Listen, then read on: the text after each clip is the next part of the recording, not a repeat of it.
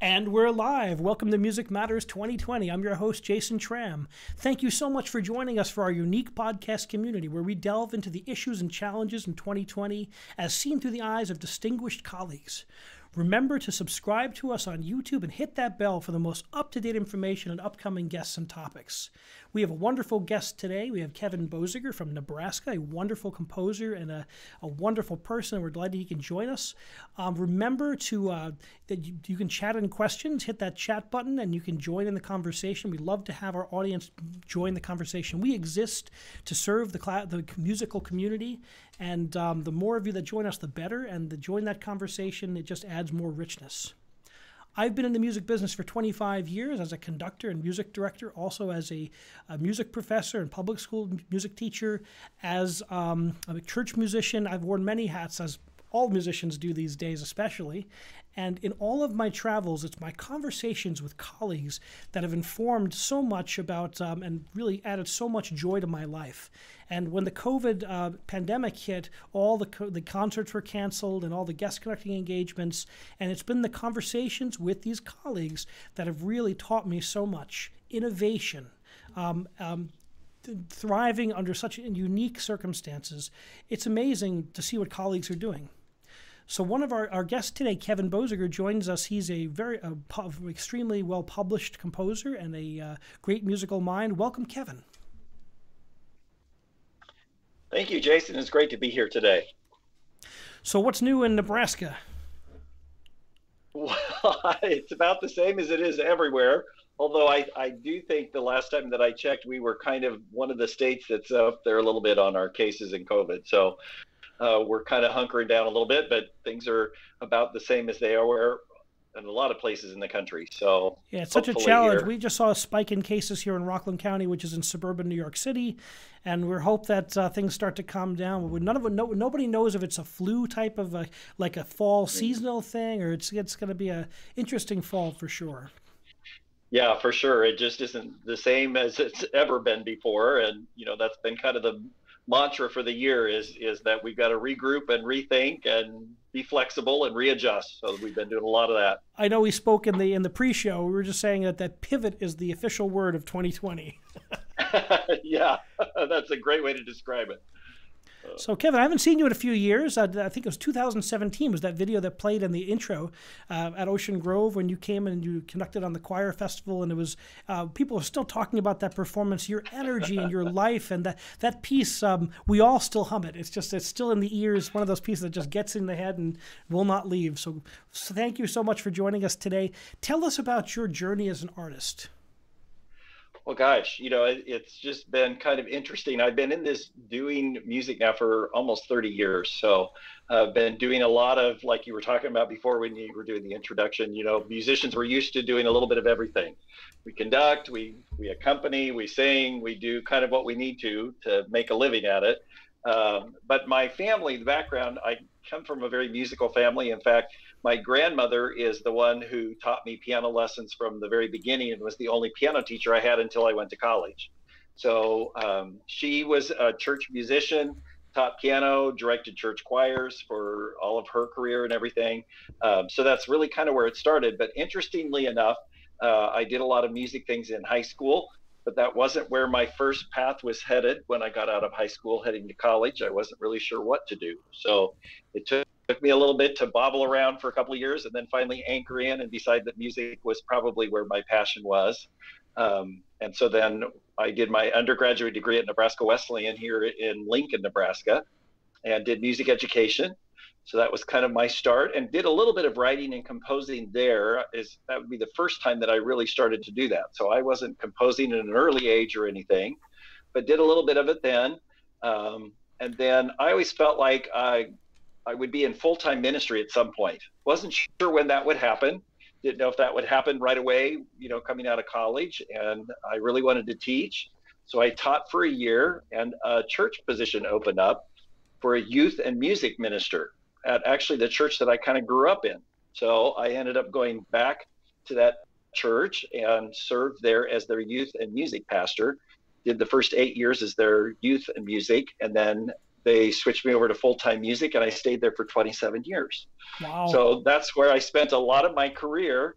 And during that time is when I really started to write and compose a lot more because I found there were certain things I needed that uh, it was just hard to find what fit your group really well. You know, it's, it's there's so much great music written by wonderful composers and lots of music out there published. So you go, well, how can you not find something, you know, there? But you know, we all have unique groups and unique talents and abilities. Um, so I really started to just write some things that I that I wanted to use within the church history there, and then really started to develop that passion too to compose and arrange and write. Um, so that kind of got me going down that path a little bit. And for the most part, I would say for the first uh, 10 or 15 years of, of the years that I was composing, uh, I just mainly, the people in Beatrice, Nebraska heard it. That was about it. You know, I just wrote it for the people there. Uh, my wife and I uh, started writing uh, musicals for Christmas.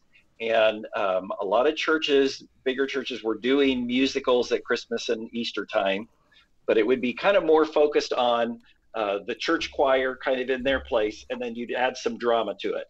And what we found is we had a group of people that were really interested in doing more of a Broadway type show and where we could do costumes and sets and lights and it was more the music was integrated in like it would be for a, a regular book for a, a, show on broadway. So my wife and i actually started writing those together. Uh, she would do the dialogue and the script and i would write the music and the, and the lyric. We'd work together on it develop these shows. Um, and that's where I think I really developed kind of my skill in my songwriting side of things was just to kind of come up with those pieces that you got a nice flow out. It started from the beginning and it was all kind of connected and gave me a much better feel for that. Um, and at the time, you know, there just wasn't very, and still there aren't very many shows like that available for churches that are doing those types of things. You can find a lot of cantatas and a lot of musicals with the church choir in the loft, but an actual musical uh, that's kind of geared towards the church audience. So that's kind of where we started to do that a little bit more. And then I think it was back in 2000, I want to say five or six, um, I started a choral festival at the church uh, that I was at and invited different people to come in. And the second year that we did it, Mark Hayes came up and spent some time there and did our choral festival. And he and I really connected. Uh, he really is the one that kind of mentored me on my music writing and composition skills and really uh, did a lot of great things for me. Uh, I kind of joke. A legend in the field, certainly. Yeah, and I was so fortunate that it just worked out that way. You know, it was one of those things where um, I guess I was never shy to ask somebody, you know, will you come do this for me? And Mark, uh, at you know, and he still is in Kansas City. He and I still keep in contact. He's I, he's just been great. He's been such an encourager to me. But uh, he's just in Kansas City there, so he's just a few uh, was a few hours away from me, and so it was super easy for him to come up and be part of that event for us. But uh, for that event, just as a way for me to give back to the choirs that came in, I would write a piece uh, to be on that choral festival and so I asked Mark, Are you okay doing one of my pieces? Because, of course, we want to do all of his work if he's going to be there. So he said, Yeah, send me a couple things to look at. And it was really um, after that weekend, I started connecting with him. And he said, Hmm, would you like to see if we can get some of this stuff published? And uh, he said, I don't take too many students, uh, but if you're interested, and so I, I spent a few weekends just going down to Kansas City and working through my music uh, I always tell people he's he is graciously honest. Uh, I never felt like he was uh, harsh about it at all, but I could always tell. I would put a piece up and play through it, and and I could always tell when I'd look at him and say, "Oh, you, you think I probably I probably just need to throw this one away," and he would say something like, uh, "Yeah, I wouldn't spend a lot more time on it." You know, he was very gracious about it, uh, but he was great, and he was he was such a good mentor for me in the music side because he would look at the things that I w- was writing and he would say, This will sound great if you're conducting or if your choir is singing it. But think about it. What if you've got an average church choir or an average choir singing it and an average piano player and an average conductor how can you write something that will sound excellent and amazing with that? And he said, and then you put this in front of professionals, it'll be even more spectacular. Uh, and it was just great advice because then I really started to learn how to kind of edit my stuff better um, and just understand the craft more. How many really years ago? How many years ago was when you, write when you first started working with Mark Hayes? How many years ago was that? Um, I I think that was right in 2007, 2008. Hmm. So I had spent you know 10 or 12 years writing before that, before I got connected with him, and um, you know who really got me started in college. Boyd Bacon uh, is from Nebraska as well. He was actually uh, my arranging professor at Wesleyan in my undergrad years, which was great. He was, a, I mean, I had a, a great start with him and everything, and he encouraged me early on to you know pursue that more. Um, but i just didn't with the time and and you know who has time to do everything. So it really wasn't until i got connected with mark and i look back on it now and understand how important those first years were that i didn't have anything published but i was honing the craft. I was understanding it better. I could uh, just do it i think more proficiently, uh, um, you know, and having some life experience and going, yeah, this is really helps when it comes to composition.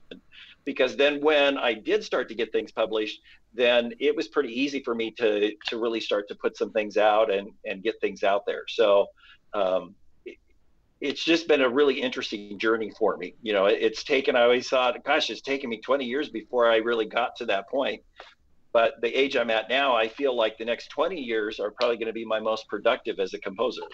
Well, it's so, so, exciting. You, you you combine all that knowledge gained over a whole lifetime, and you put that into your craft, and you, and it just keeps evolving as you evolve too. Mm-hmm. It's exciting. How many pieces have you had published up to date? Oh, I should know you were going to ask things like this, Jason. um, I wish I could say that I have hundreds and hundreds and hundreds. I, I, I think I've broke the 50 mark or so. I mean, I think uh, I have a number of uh, anthems published, um, and then I have uh, four or five piano books that I that I've done over the years too, um, ma- mainly for Lorenz, and then uh, the Lillenas imprint Lorenz actually publishes. Um, so that's kind of through the Lorenz company too. But uh, and I've really enjoyed the piano projects because you know that's that's a little bit different writing than writing for SATB choir. Um, and then I also conduct the Beatrice Regional Orchestra yet in Beatrice, which is a little ways from Omaha.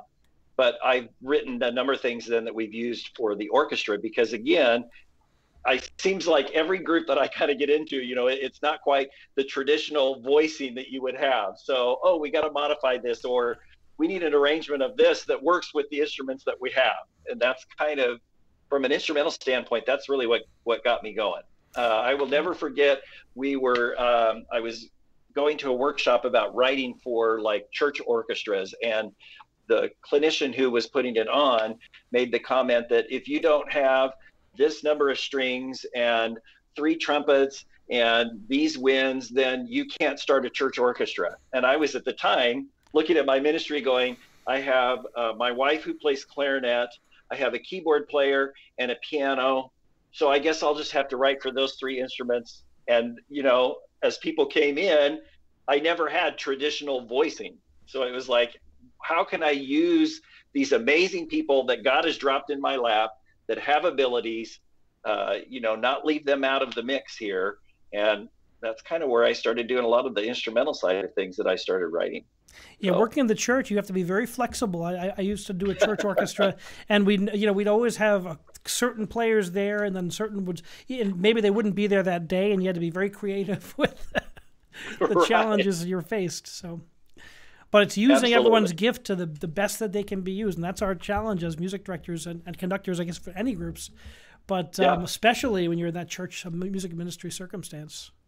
Mm-hmm.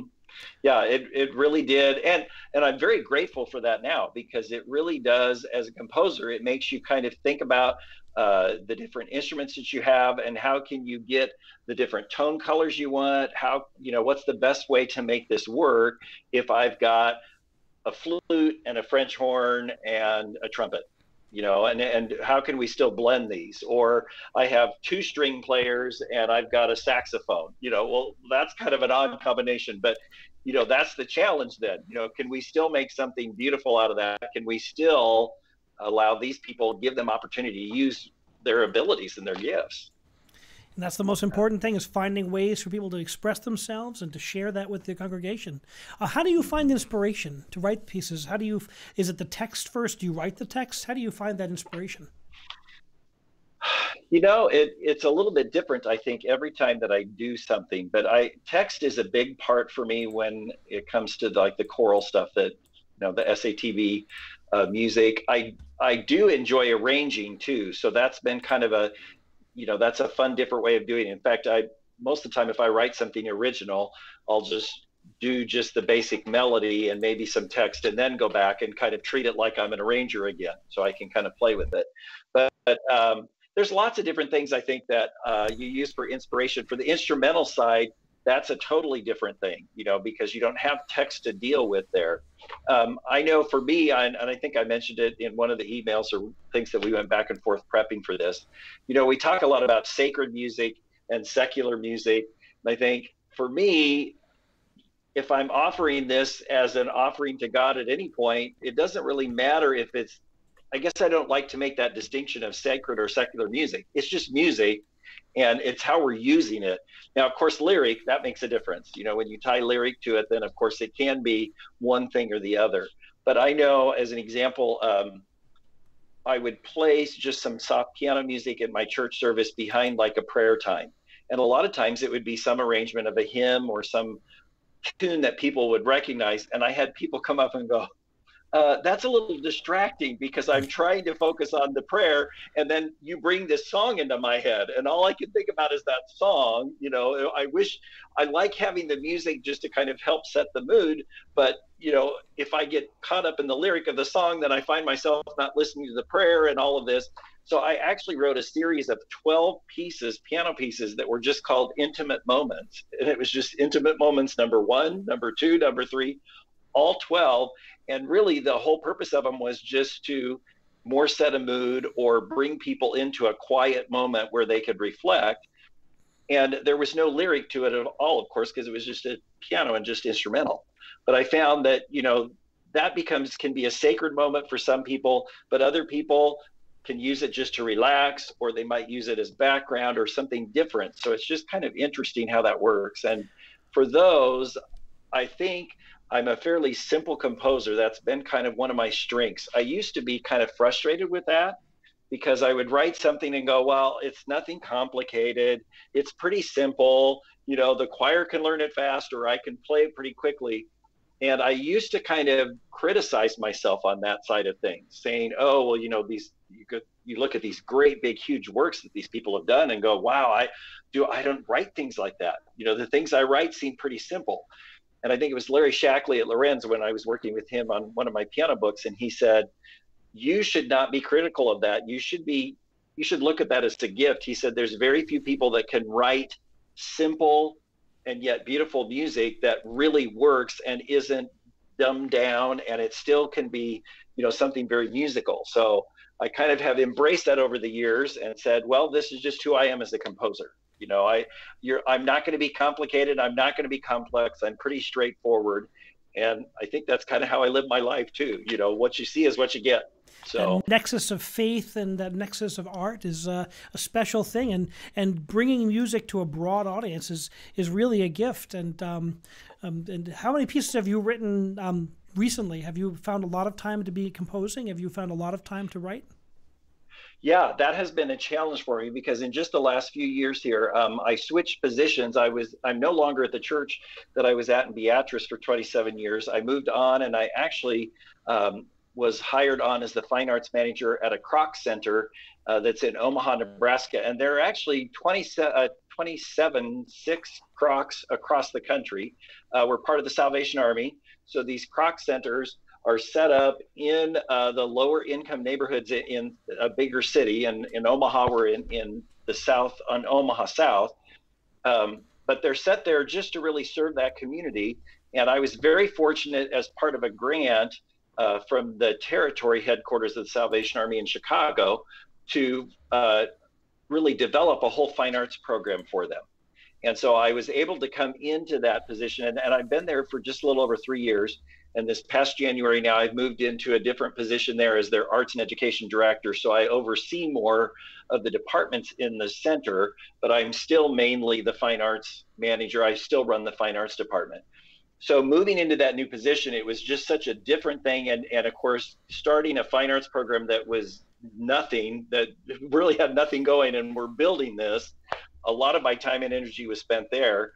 But believe it or not, with COVID, this has given me more time to get back and write. Um, things have not slowed down at the Kroc Center, and it's always going to be that way. It's always going to be nuts. But um, you know, it has given me a chance to just kind of. I have a virtual uh, choir that I kind of started, uh, so I'm doing some arranging arranging for that group. Uh, you know, I still our regional orchestra is doing small group things, but we're doing virtual there too. So it's given me opportunity to do some reading, writing there.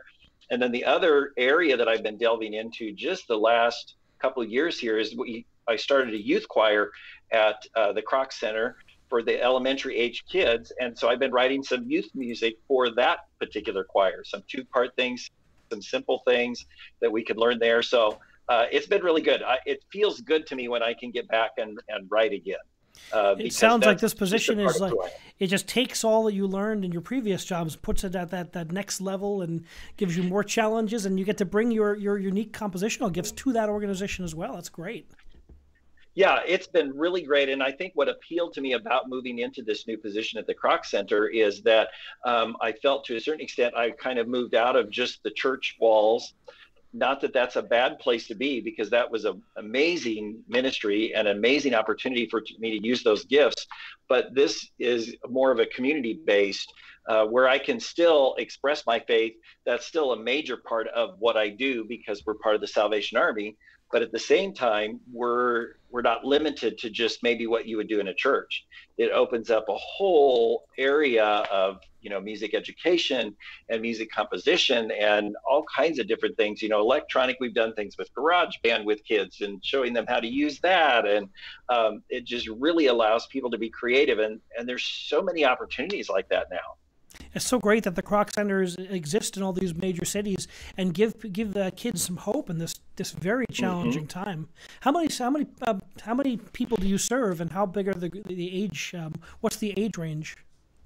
Well, the age range of the the center itself, um, if for lack of a better way of explaining it, I mean it's really kind of like a, a YMCA on steroids. I mean, we uh, there's a lot. Uh, the Kroc Center started in California, in San Diego, and Joan Kroc, who her husband was Ray Kroc of McDonald's fame. She's really the one, it's really her brainchild. She wanted to provide uh, a center where people could be developed uh, from a spiritual standpoint, physical, artistic, and her being a musician herself, the fine arts was important to her. I did not uh, know that. So, what, what, was her What was her yeah, musical um, background? She, uh, she was uh, she played piano as a vocalist, and, and so it's really I mean it was near and dear to her heart, which is part of the reason why these grants came up to really boost what was going on in the fine arts departments in these Kroc centers because they were feeling like, yeah, we haven't done enough there. You know, Joan would want more with that. So um, it's kind of amazing because within the center, then we have uh, a small water park. It's indoor, so there's a slide to it. You know, so we've got a whole aquatics uh, center. We've got two gymnasiums and an indoor soccer turf, a state-of-the-art fitness center. We've got a performing arts center, a whole education wing where we're doing day camps and summer camps and after-school programming, a loft area for kids to hang in. I've got a piano lab up there so I can teach piano. Uh, we've got drums to do drums and drum circles.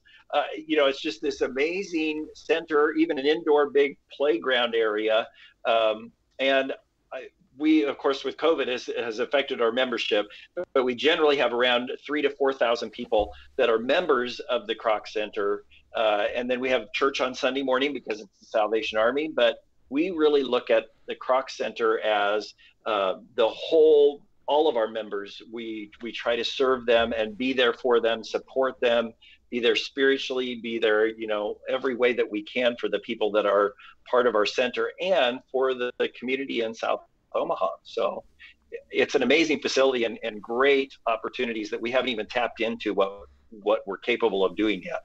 The Salvation Army has always had such a strong connection to music.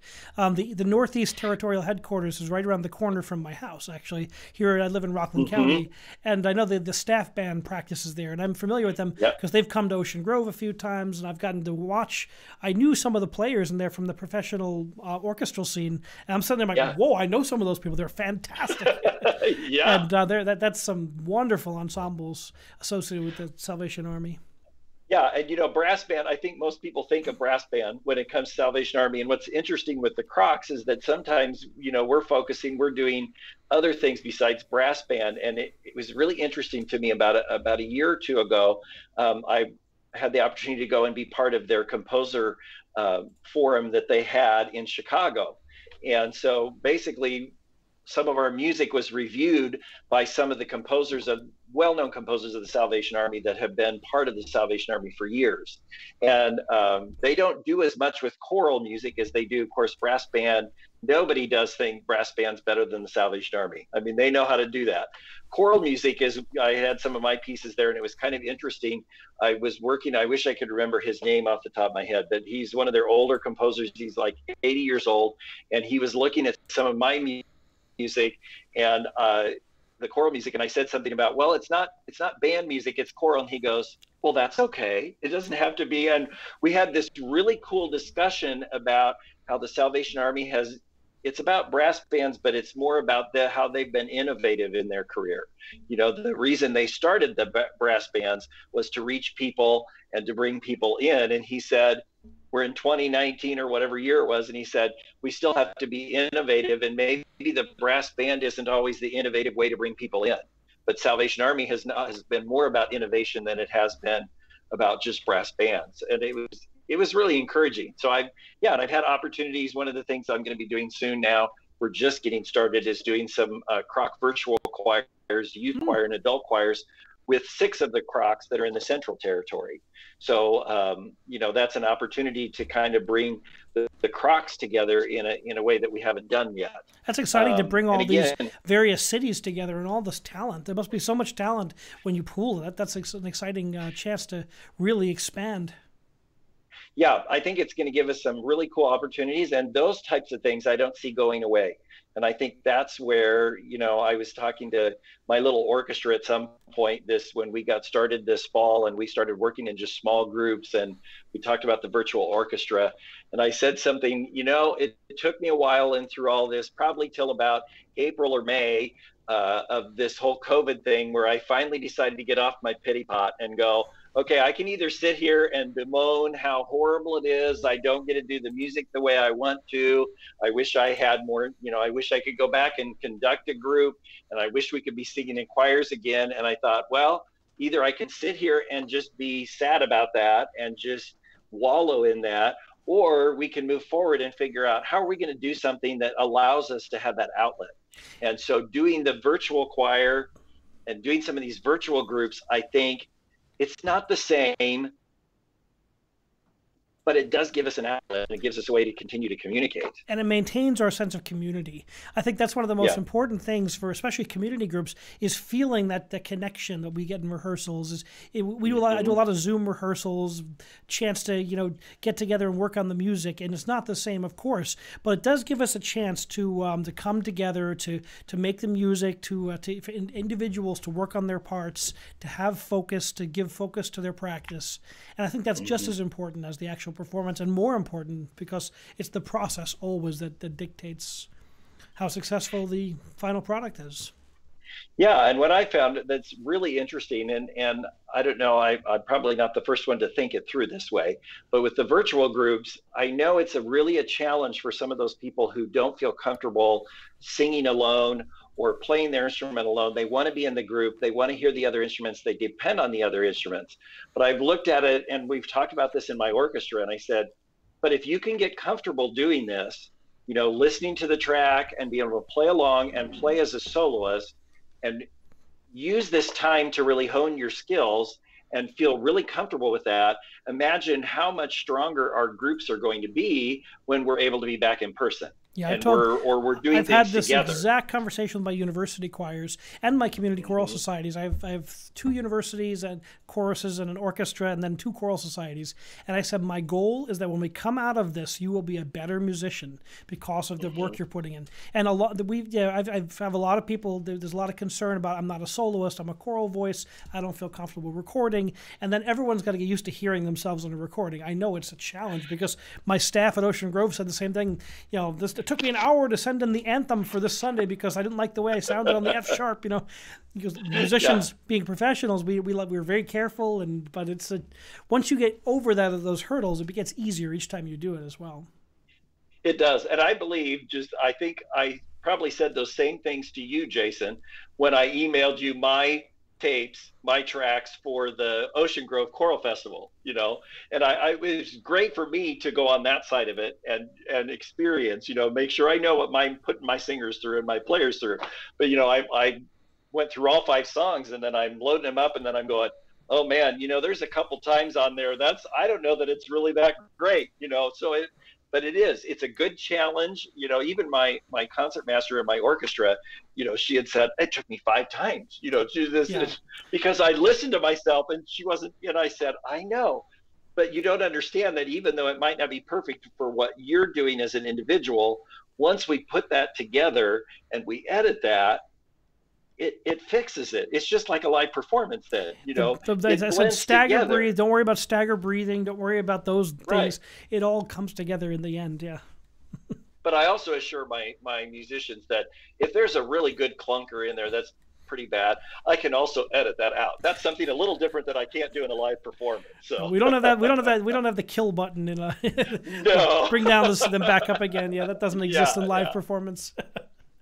Not at all. So well, if it makes you feel any better, I had a uh, I had a um, a violinist from the Met Orchestra and his wife, and we were talking about the same thing. And he's doing virtual projects, and we're all in this boat together. The entire musical community is working, and we're starting to see performances open up. I, I, I told you before, my friend from Jacksonville, uh, Jim Neglias, they're actually performing a whole season down in Jacksonville with social distance protocols, very carefully um, with masks and with, with cages like those uh, acrylic cages. I mean, it's a Yeah. real. They they spent a very long time working on the protocols, but um, we're starting to see some performances happen. It's very slow. Europe more than here. China's opened up entirely. They told us on my on my show. wow. I mean, so we're starting to see some movement in the musical world, but we have to be careful. I mean, Yeah. that's the reality. Yeah, reality. we absolutely do. Yeah, and I, you know, even with just the community groups, I think, uh, you know, people are wanting to be part of that. You know, talking to just some of my musicians in the orchestra, uh, when we talked as a board in August, try and decide what our season is going to look like, because one of the things that we lost there uh, was the rehearsal space. You know, the school we couldn't go into the school, we didn't have a performance space. So we talked about doing some small groups, you know, brass quintet, woodwind trios, string quartet, putting some things together. And I said, we we surveyed the whole all of our musicians. What are you comfortable doing? You know, are you comfortable coming in? And a lot of people were like, yeah, if we social distance and we can come in, we want to come in because I got to be playing music again. I just can't do this, and and I can't wait, you know, to another six months or a year before I can do it again. So, yeah, I think finding ways to do it is extremely important. I had my So- first live choral rehearsal last weekend, and I've got another one this weekend. And there was a subset of my group, the Taconic Chorale, up in Westchester, and we sat we sat in someone's backyard. They put the keyboard with an extension cord through the house on the deck, and I'm I'm far away, and they're spaced out at least ten feet each or something like that with masks on. Mhm. I mean, it's uh, it's a it's a different uh, experience, but. Uh, But people, Very different. We were so joyful just to be in the same room, just to be in the Yeah, same space. Yeah. You have to listen very differently just- outside. Yeah. And I, I think just making those connections, I think, is important too, because I think that's all part of it. That's always been part of, especially community groups and choral groups and instrumental groups, is just the camaraderie and being able to get together. You know, composers, we can we can sit down in our basements and write our music and be pretty pretty content sometimes, but uh, to get the performances out, yeah, you want that community there. So, Kevin, what are some of the things you think are going to be different in in the composition community and the music community after this COVID crisis dies down? How do you think this is going to change our industry?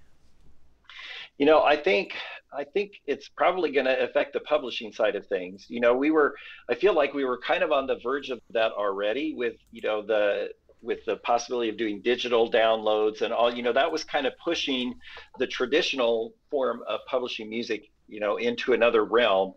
Um, I think this is going to do that even more um, because it's it's just easier to access things, you know, and have it at your fingertips. Um, I think as a composer, what's kind of interesting to me is uh, since I've been doing some arranging for like the virtual choir and thinking along those lines and the virtual youth choir things, I think you think a little bit differently on how you put things together. Because you start thinking about how can I write something that really will work well as a virtual piece as opposed to something, you know, in in person. And I don't think it means that everything, you know, that we set the tempo and it never changes, you know, so that everybody can can sync in together. I think there still can be variance in there, but it's obviously a lot more difficult to have lots of rubato and a lot of tempo changes and time changes in in things if you're going to try and produce them virtually. Um, so I think that could be a possibility because I think you know people are going to look for music that they know can work well as a virtual piece uh, with having players in different places and bringing them together. So I think that's going to have a little bit of an impact too. And then performances, I think it's going to have a big, you know, impact. I've, I've been kind of joking with people around here saying, I don't know, I think if I was a Broadway producer, um, I would try and figure out a way to mount a show where I could make money with half the ticket sales yeah, and I think, then I think I, have I've got a couple. You know, I've got two Broadway artists coming on this show um, in the next couple months. One is a, a, was a one of the lead cast members of the Blue Man Group, who's been on that show for 20 years, I believe, and another couple artists. And I don't think Broadway is going to come back for a long time because it's built on selling as many tickets and stuffing people in as close as possible to make it's a, it's entertainment. It's not um, it's not like the Metropolitan Opera even or the Symphony. It's going to be it's a different mm-hmm. model entirely. So I think we're going to have to. It's going to take a long time for that to come back that producers will take the risk of trying that. Yeah, I think we're going to have, I think that industry in particular is really going to have to think about how to make that comeback happen because, you know, Broadway's that way. If you think about the concert venues with the big, uh, you know, things that happen in the arenas, they're in that same boat. I think where, you know, you got to sell out. You got to sell all of the tickets in order to, you know, make money on that. Well, how can we then put performances of excellence and really great entertaining performances together on half the budget. If you if they could figure out a way to do that then then they'll be better off in the long run because then once we can open back up to full capacity they're looking at 50% profit. You know i mean there's there's a difference there you, you can take it take some so, notes from the uh, university from the church music uh, whose budgets are always low.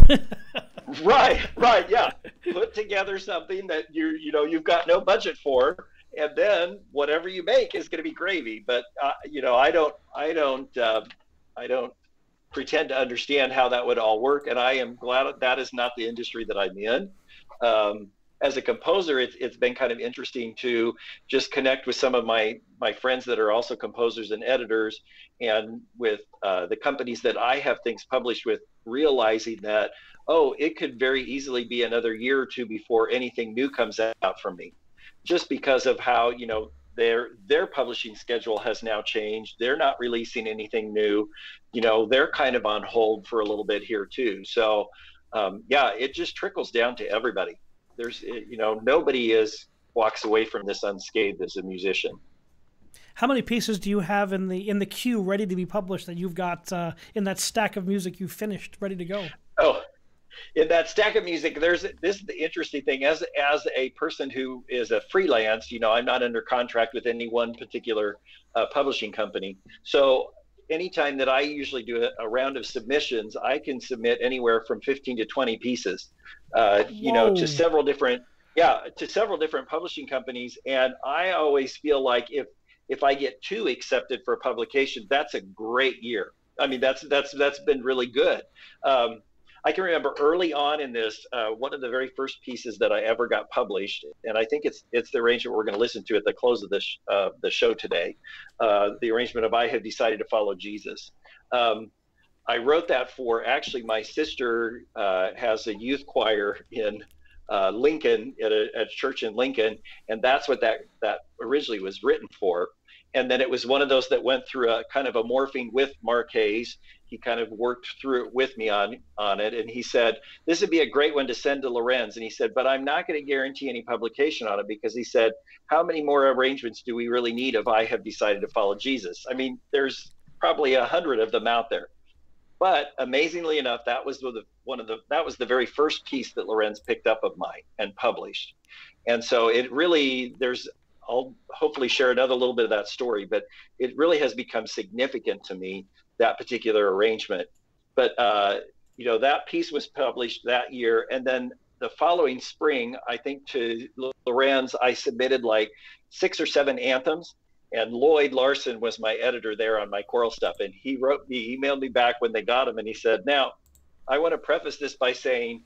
This is not going to happen every time you send us something.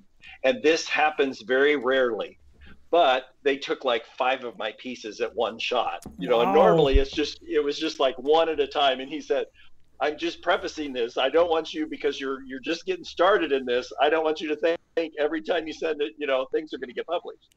But i think uh, a lot of us that are freelance that are doing that kind of thing that's kind of what we have. We have a number of pieces that are in the queue. We you know have different times of the year that we know to send out to the different editors for them to look over the material. And we just hope that it fits in their in one of their categories and fills a need that they have. Um, you know they have tons of music that comes in freelance you know so they have very few spots open besides the the places that they have open for their their composers that they published on a regular basis. Well, it's so, so important it's, uh, that um, yeah, I'm glad you did submit that to be that that the arrangement of the famous hymn because you know that there's always uh, every like when we think that, that, we think of a piece that's very famous like um, oh like the Battle Hymn of the Republic, the Wilhousky. Well, there's mm-hmm. there was a there was a famous version before that and it, that supplanted it. So there, I think that's always yeah. the case in the church that we're always reinventing or uh, finding a new voice to go alongside with these great hymns. And I think it it always keeps keeps it fresh. Yeah. And that, you know, that piece really has become, that was a very important piece for me. Um, I did the arrangement originally for that youth choir, but then Mark and I worked through it, and then it was the first piece of mine that was published. But it also uh, kind of launched me into some other things that I got to do. Um, uh, Chris uh, Monroe, who is a min- music minister in Vinton, uh, North Carolina, I think it's North Carolina, at Vinton Baptist, did it with his choir. And then he was looking for somebody to uh, write a commission piece for him for the retirement of his organist. And so he contacted me and I realized that was the piece that he had done of mine. And then through that connection with him, I actually ended up going over to India to teach for about three weeks at a Christian college in India uh, one summer. And I have decided to follow Jesus is actually an Indian song. That's where it came from was wow. India, which the story behind the the piece. Um, and I just had to look it up quick so that I didn't misspeak or, or say the wrong thing uh, tonight. But the the story of that piece is that uh, the gentleman who wrote that piece uh, in the mid 1800s over in India was persecuted, was martyred, uh, oh. and it was his entire family. So he hmm. had two children and his wife, and the the people that were martyring him had his two children there, and they said to him, you know, either denounce Christ or we're going to kill your kids. And he started singing, I have decided to follow Jesus. They killed his children. They said, denounce Christ or we're going to kill your wife. And he started singing uh, the verse of, though none go with me, still I will follow. They killed his wife and then they were going to threaten him and he sang the cross before me the world behind me and they martyred him. So it's just it, it's just an amazing you know we sing this little this little hymn little chorus and don't realize the story behind all of that.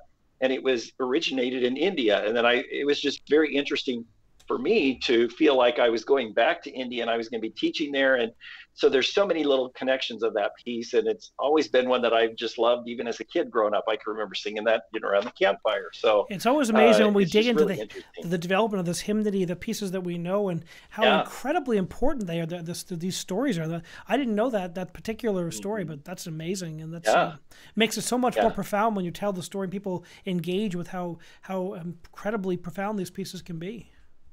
Yeah, you know, and and I maybe the reason I uh, that that appeals to me so much is what I was talking about before. You know, I don't feel like I I don't I've never written Handel's Messiah or something, you know, so complex that you dig into all of these things. And I have decided to follow Jesus is probably about one of the more simple kind of hymn chorus things that we have, you know, and so it, it just really seems to fit me as a composer and what I've tried to do over the years and kind of grown into that, you know, this straightforward, simply some, something that's simple and something that's beautiful. So we have our first question from the audience. This is from Anna from Great. Detroit. Anna asks, um, what, what, the, the question here in front of me. Yeah.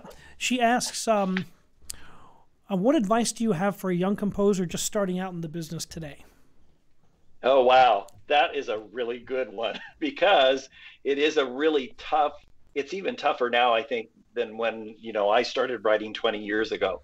Um, I would say find some places where you can write some things that you can get in front of real live bodies and musicians and get some of your stuff performed whether it's with your your local church choir or a community group or even maybe the high school or some place so that you can see how your pieces actually work if, if you haven't had a chance to do that yet with some some real musicians um, but I would not discourage anybody. I would say just to really work at your craft. There's all kinds of things you can uh, even do on YouTube anymore, you know, that will give some good. And of course, you have to sift through some of this because sometimes it's not the best instruction in the world, but it will give you some ideas. And really, when it comes to composition, knowing good basic theory is extremely important when you're writing but there's a whole realm of just being able to try new things or take a risk and do something maybe that hasn't been done before. Um, and then network network network you know as much as you can. Uh, for me i did an awful lot of writing until i finally made that connection with mark hayes. And then from there is kind of where i was able then to connect with other people you know you just don't know where those connections are going to lead. But um, not that the music publishing companies don't publish uh, totally freelance and people that sub- submit something but it's getting to the point now where a lot of those bigger companies aren't even accepting uh, submissions from uh, unsolicited submissions like what they used to. You know you used to be able to send your manuscript in to almost any company and um, i'd say there's a, not too many of them that do that anymore you know it's usually through a connection of somebody or you have something published with them before. Um, you know I, I have worked with a few uh, people that uh, have not been published yet but they'll make the connection with me and we'll work on a piece and do that as a collaborative effort. You know i have a, a friend of mine that actually Mark Hayes sent my way uh, that's a minister of music in Raleigh, North Carolina, and we have two or three pieces now. He's written the music and the the lyric and the the melody, and then I go back and do the SATB arrangement of it. So we've had some pieces done that way. Ron Cadmus, who's a uh, friend of both of us, great. Shout out to man. Pastor Ron um, Cadmus. A shout out. Yes, Ron Cadmus. Cadmus. A shout out to him. Uh, interesting way that we can, and this gives um, I hope I'm not getting off topic, but this gives you an idea of how to network a little bit. Um, and keep in mind that here I am in the middle of Nebraska, in the middle of the country, not in a heavy populated area. I'm not in Nashville or in LA or in New York City or anything like that. And uh, Ron Cadmus actually heard one of my little piano pieces played. Um, it was and it was part of the church music, church pianist magazine that Lorenz puts out. So he was uh, filling in, pulpit filling for a church in New York, someplace. The organist played this little piano piece. He found me on Facebook, wrote me a message, and said, "I love this little piece. If you would you ever consider putting lyric to it?" And I said, "Well, sure." You know, so well, he sent me lyric that he had written and uh, we submitted that to Lorenz. You know, since Lorenz was the one that published the piano, and they didn't accept it, they didn't publish it. But it started the path of this collaboration now with Ron, and I feel like he's he's been a great encouragement to me. He's the way I got connected with you was through Ron.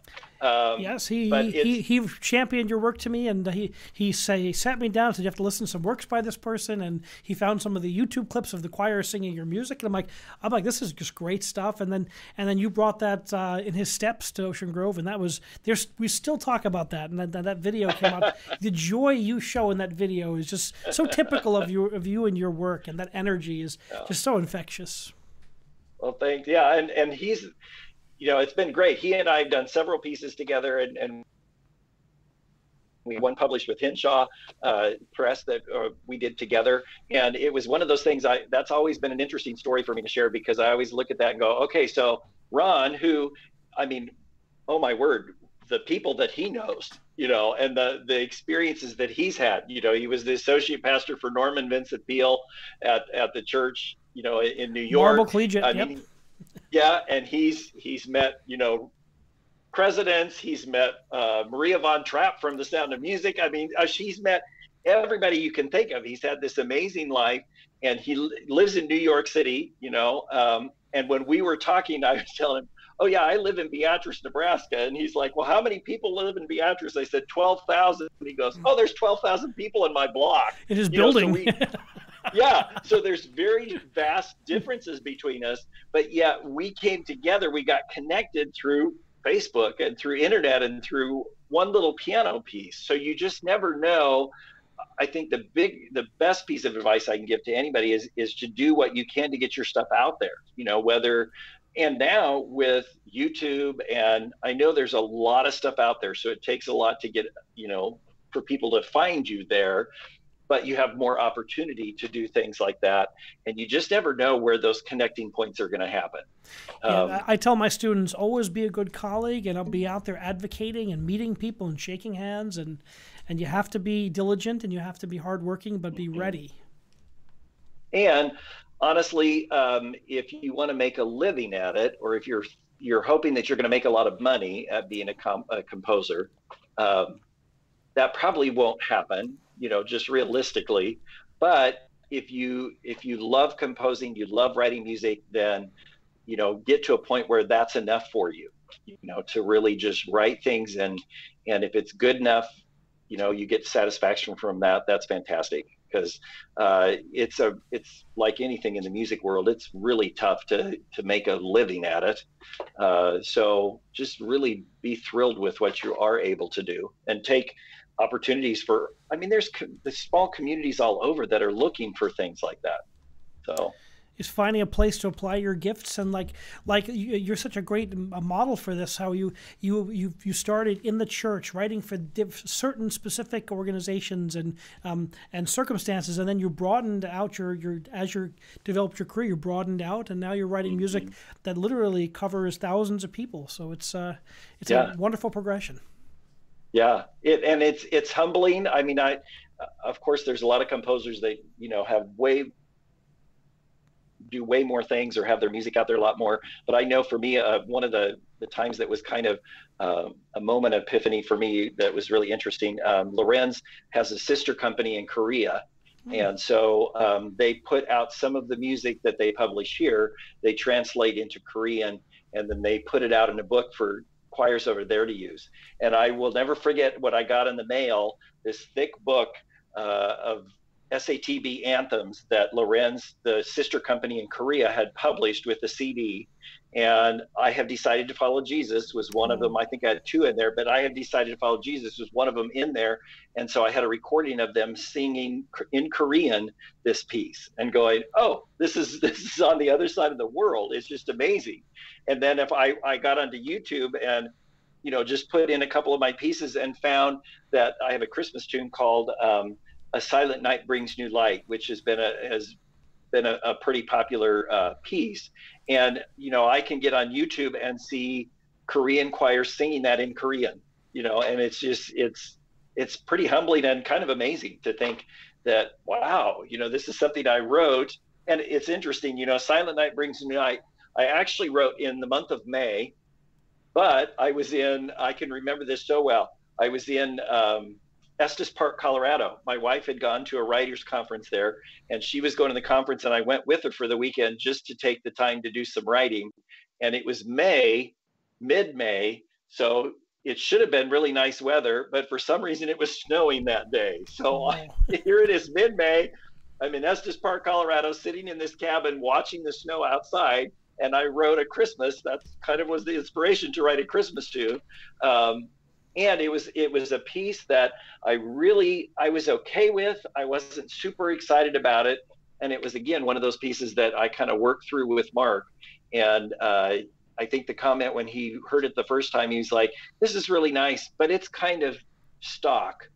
And I was like, "It's stock," and he said, "Yeah, you're more creative than that. You can do better on this." And so I went back that night and changed and fixed some things. Came back with him again, and eventually we got it to a place where I it's one of my favorite pieces. But uh, I think you just continually work at your craft. Well, Kevin, thank you so much for joining us. Um, it's it's great to catch up with you. It's been too many years, and we'll get together soon. I'm sure. I'll bring you back. Uh, love to have you back on the East Coast again and uh, catch up with you I'd and your love family. to come back. That'd Continued success in your work, and um, keep making music and uh, changing lives. Yes, thank you so much, Jason. I appreciate the opportunity tonight. Thank you. Thank you for joining us on Music Matters 2020. It's been such a pleasure to have you here tonight. Please remember to subscribe and help our channel grow. Um, we are one of the large, we are the one of the fastest growing uh, musical communities on Facebook, especially podcasts, and we're delighted that you can be a part of this community. Uh, please share this video and help us to grow. And uh, remember, keep music alive. Good night.